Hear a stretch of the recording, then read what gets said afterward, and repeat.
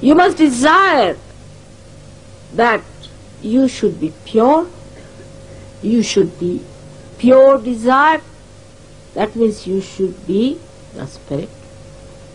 That what is your responsibility to yourself? You should desire that your responsibility to yourself should be manifested, should be complete. Then your responsibility to this Sahaja. What is your responsibility to Sahaja? Which is the work of God, which has started, and you are my hands.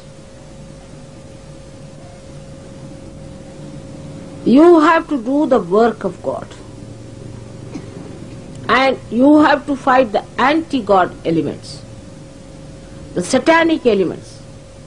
You are not responsible for your family anymore. Those who are, are the half-baked Sahaja Yogis, I said, are useless, absolutely good for nothing. All such will drop out, their families will suffer. I know this is going to happen. Because now the forces are gathering in such a way that sorting out will start. Your responsibility to yourself to be the spirit. Your responsibility to Sahaja Yoga. Your responsibility to understand me better and better and better. Your responsibility to understand this mechanism that is within you. Your responsibility to understand how this mechanism works out everything. The responsibility is to how to become a guru yourself. Your responsibility to be a dignified and a glorified personality.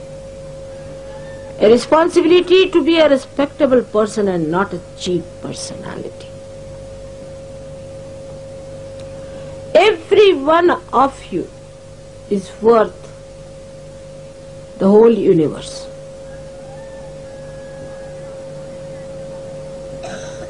If you want to rise to that height.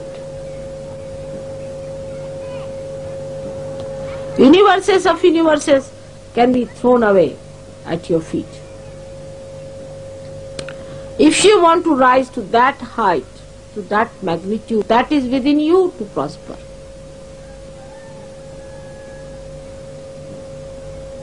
But those people who still want to live on a very low level cannot. So for Sahaja Yoga, we have to put ourselves onto a point. What did I do? What did I sacrifice for Sahaja Yoga? Nothing. It's only for my own child, or maybe for my wife, or for myself, or for my job, or for something. What is our commitment? And without commitment, purity cannot come in. It will go up and down like a yo-yo. We are committed to Sahaja Yoga. If there are even five people who are really fully committed to Sahaja Yoga, it can be built up that.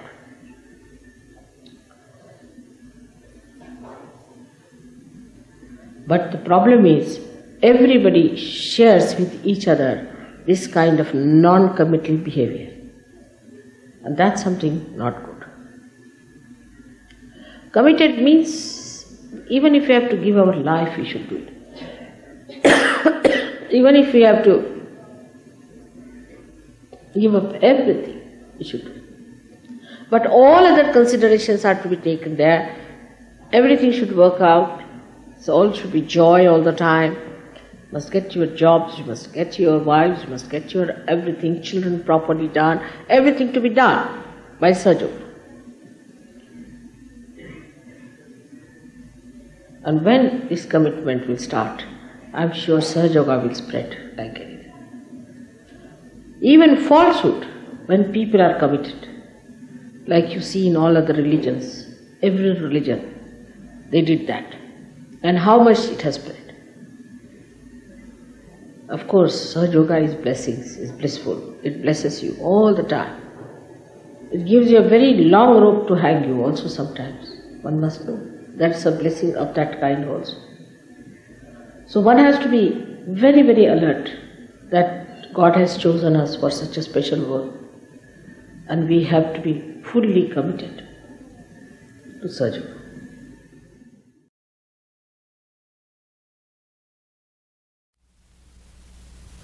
इतना सब होते हुए भी बार बार इस तरह की बात बहुत से लोग मुझसे पूछते हैं कि हमारा क्या फ़ायदा हुआ?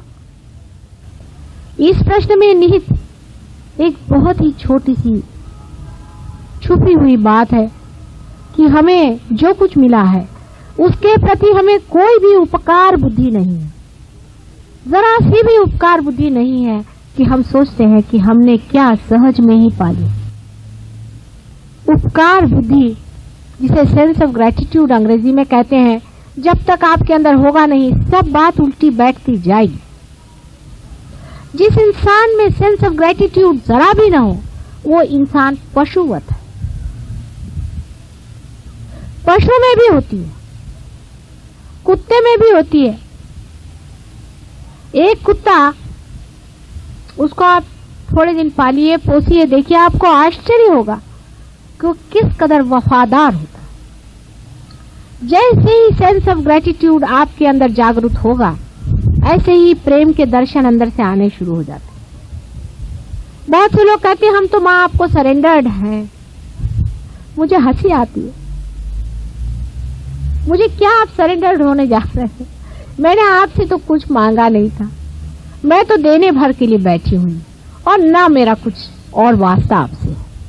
किंतु ये जो परमात्मा है ना, ये ज़रूर आपको देखता है कि आप में कुछ उस उपकार की बुद्धि है या नहीं। अगर नहीं है, मैं कुछ भी आपका रिकमेंडेशन करूँ, वो सुनते नहीं। इसीलिए बहुत से लोग जो अपने को सोचते हैं कि वो पार हैं, उनकी जागृति हो गई है, वो बड़े इवॉल्व हो गए हैं अभी वहीं पर हैं। बिल्कुल यूँ ही यूँ ही चल रहे हैं। अपने अंदर उपकार की बुद्धि ज़रूरी लानी हो। सहयोग का आप कल्याण नहीं कर सकते हैं। आपको कल्याण करना है सहयोग से। आप अपने को सोचते हैं कि हम सहयोग के कल्याण के लिए आए हैं। तो आप बड़े गलत फहमी में हैं, क्योंकि सहयोग साक्षात परमात्मा का साक्षात्कार है इससे जिसे लेना है और जिसे बढ़ना है, वो आगे जा सकता है। और जो देने यहाँ आएगा, वो कुछ भी यहाँ नहीं पा सकता। देने तो दूसरी बात है। सहज योग के प्रति उपकृत होना चाहिए। उपकृत होने का मतलब अंदर भावना ये होनी चाहिए कि आपके बड़े उपकार, इतनी कृपा हमारे ऊपर हुई कि हम पार हो। कुंडलिनी का पूर्ण साक्षात्कार हमें हुआ और हम उंगलियों के इशारे पे कुंडलिनियाँ उठा रहे हैं। क्या मजाल है किसी की जो इस तरह से कर सके।